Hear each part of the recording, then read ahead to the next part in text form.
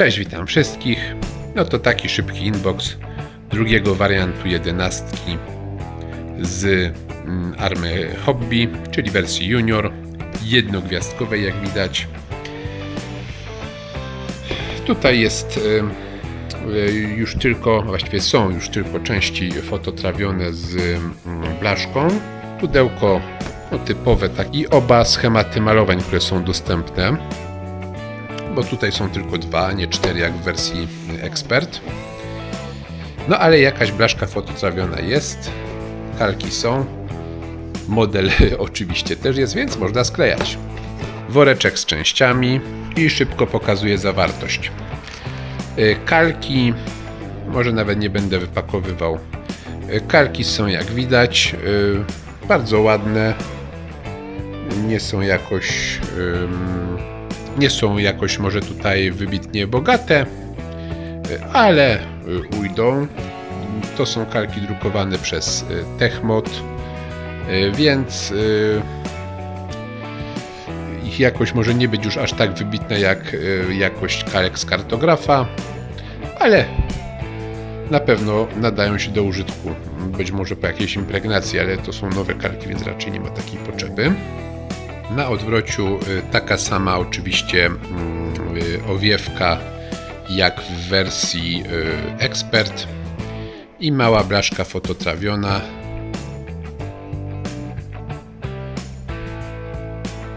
O, teraz ją wyostrzyło. Tutaj są wyrzutniki bombowe, pasy i zespół celownika. Instrukcja, co zrozumiałe, identyczna praktycznie z wersją ekspert. No tutaj jest różnica taka, że nie ma tych wszystkich trawionych, więc jest dużo krótsza. I tu są oba schematy malowań, jakie są dostępne w tym wydaniu. R-rata również jest. No a ponieważ y, żaliliście się, że były problemy przy oglądaniu wersji w ramki w wersji ekspert, więc pokazuję ramkę jeszcze raz. Tym razem będzie to takie krótkie tylko przejrzenie. Ramka oczywiście jest identyczna. Z oczywiście identycznymi problemami jak jamki skurczowe. Ale za to model ma piękną fakturę skrzydła i sterów.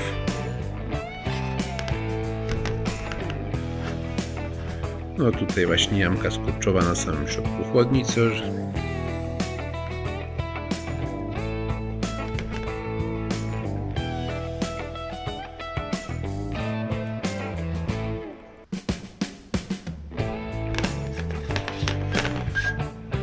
No i tak oto prezentuje się y, model. Y, myślę, że jest to bardzo ciekawe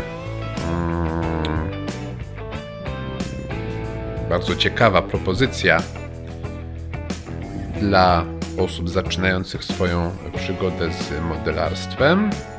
Powinien być stosunkowo prosty do sklejenia, nawet jeżeli trzeba tu i ówdzie użyć szpachli, no to nie e, powinno to jakichś szczególnych problemów nastręczać. E, dla porządku jeszcze podam tylko, jakie są schematy malowań. Tutaj jest 121 eskadry myśliwskiej y, z Krakowa i to jest ta jedenastka, która znajduje się w Muzeum Lotnictwa Polskiego w Krakowie. Ten jedyny zachowany okaz. A drugi jest też z Krakowa, ze 122 eskadry myśliwskiej y, z Armii Kraków. Tak samo jak zresztą ten poprzedni. No i to by było tyle, co się tyczy jedenastki z Arma Hobby. No to dzięki, trzymajcie się, cześć!